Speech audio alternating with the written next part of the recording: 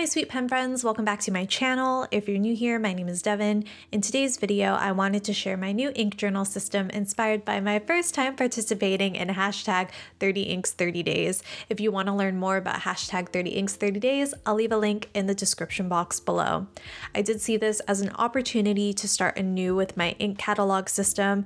I had swatched some inks in my Rhodia dot grid notepad as well as tried to make something of an old Hobonichi, but neither of these methods were something that I was entirely committed to or exactly enthralled by.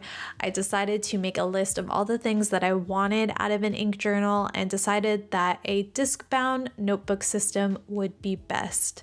This would allow me to make use of my Rhodia dot grid paper, which I really like for inks, and would also give me the flexibility to organize my ink swatches as I like. I think we see why this is important because my indecision for how I wanted to catalog my inks is starting to spill over into how I want to organize these ink swatches.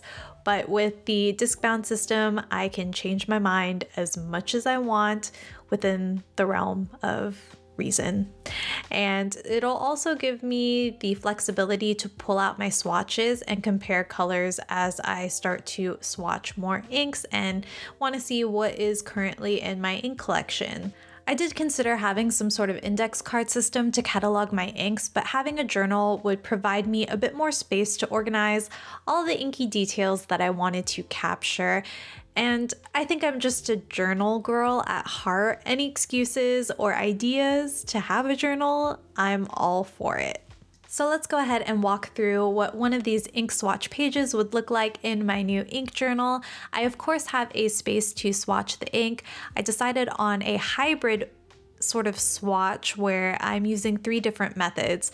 The first is with a cotton swab.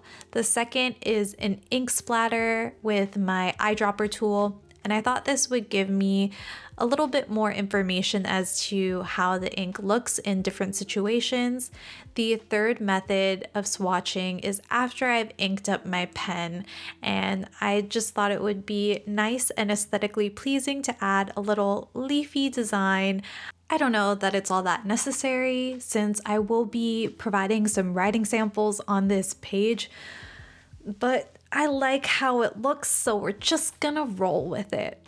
After I've completed my ink swatches, I go ahead and write the name of the ink at the top of the page. Of course, this is essential if I want to reference back to a certain color and to see if it's something that I either want to add to my collection in a full bottle or just again want to compare it to a different color. I also write where I've purchased the ink from as well as a short little blurb of what the color of this ink is. In addition to this information, I thought it would be helpful to rate the ink on a scale of 1 to 5 stars for my own personal reference. This is entirely based on my own opinion. There is no science or formula behind it other than do I enjoy this ink? I'm rating it solely on its enjoyability factor for my own preferences. And I'm going to do this as well in my little pen log underneath that. I want to keep track of all the different pens that I use with this ink because I do think it plays a factor. I might enjoy using this ink with one pen over another, and having that logged on this page will allow me to see and quickly access that information.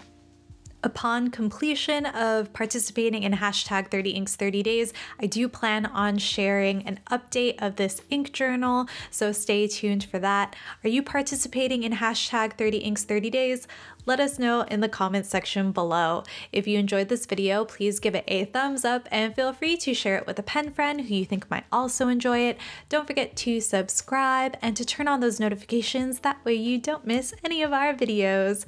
I do my best to upload here every Wednesday at 8 a.m. PST, so please take care until then. Feel free to enjoy these two videos that will be linked here on the screen. Thank you so much for watching, and I'll catch you in the next one. Bye.